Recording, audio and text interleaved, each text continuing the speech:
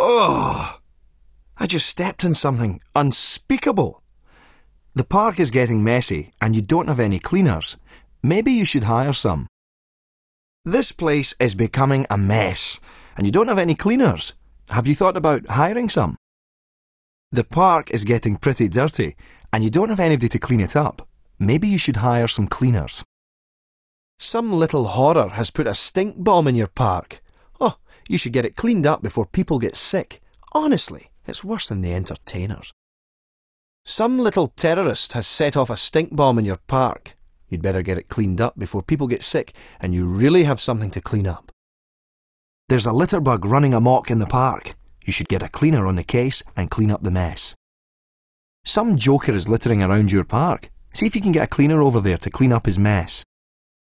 Your toilets are getting pretty dirty, but you don't have any cleaners to clean them. Have you thought about hiring some? Your toilets are getting pretty dirty, and unless you want to clean them, you should hire some cleaners. Your cleaners could keep the park cleaner if you set their patrol areas. Your cleaners aren't keeping the park very tidy. They would do a better job if you set their patrol areas. The cleaners could do a better job if you set their patrol areas. The cleaners are annoyed about something and they say they'll go on strike if things don't get better. The cleaners are unhappy. If you don't do something to improve the situation, they say they will go on strike. The cleaners aren't happy and if things don't improve, they are threatening to go on strike. The cleaners are satisfied with your improvements and have decided not to strike after all.